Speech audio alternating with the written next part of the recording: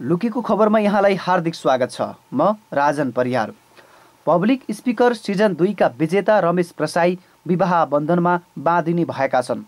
पछिल्लो समय रिङ्के बुङको रागु गीतका कारण चर्चामा रहेका रमेशले कालीकोटकी समाजसेवी नन्द सिंहसँग लगनगाँठो कस्न लागेका हुन्।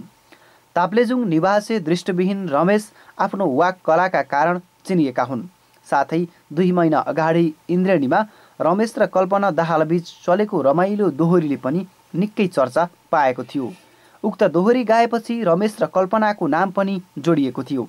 यता कालीकोट दिल्लीकोटकी नन्द सिंह पनि दृष्टिविहीन नै हुन्। उनले अनाथ असहाय बालबालिकाहरूलाई सहारा दिँदै आएकी छन्।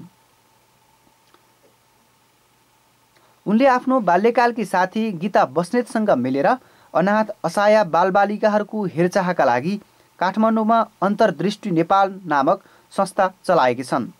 तिन वर्षको लामो प्रेम सम्बन्धलाई रमेश र नन्दाले विवाहमा परिणत गर्न लागेका हुन्। यही मक्सिर बाइस गते सुनसरीको धरानमा नेपाली परम्परा अनुसार थोरै व्यक्तिहरूको उपस्थितिमा विवाह कार्यक्रम रहेको बताइएको छ। त्यस्तै रमेश प्रसाईको मिल्ने साथी जीवन विष्ट पनि सोही दिन वैवाहिक बन्धनमा बाँधिने भएका छन्। जीवन विष्टले फेसबुक मार्फत उक्त जानकारी गराएका हुन्।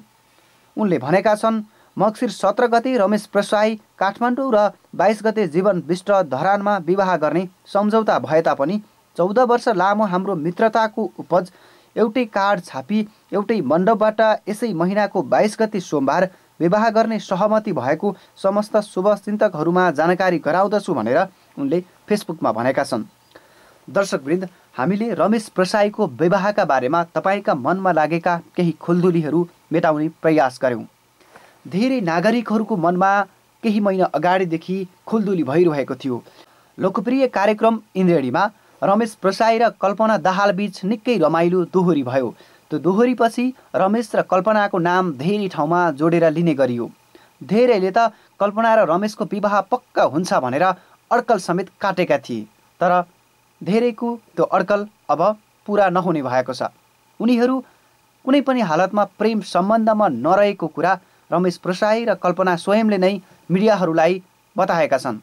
यो अवस्थामा अब भने रमेश प्रसाईको विवाह नन्दसँग नै हुने भएको छ। यो विवाह हुन लागेको जोडी तपाईँलाई कस्तो लागिरहेको छ? रमेश प्रसाईले विवाह गर्न लागेकी केटी को हुन् त? आखिर कोसँग विवाह गर्दैछन्? कहिले विवाह हुँदैछ भन्ने जिज्ञासा धेरैको मनमा हुनसक्छ त्यसैले यो भिडियो धेरै नेपालीसम्म पुर्याएर सबैको जिज्ञासा मेटाइदिने काम तपाईँले गर्नुहुनेछ भन्ने आशा गरेका छौँ। तपाईँलाई हामीले तयार पारेको यो भिडियो कस्तो लाग्यो? मन परेको छ भने लाइक कमेन्ट सेयर गर्नुहोस् अनि हाम्रो च्यानललाई सब्सक्राइब पनि गर्नुहोस्। अध्यारोमा उज्यालो किरण छर्ने भरपर्दो माध्यम लुकेको खबर। सत्य तथ्य र निष्पक्ष खबरका साथै सामाजिक सेवा र मनोरञ्जनका लागि। आउनुहोस् सब्सक्राइब गरौँ साथी बनाऊ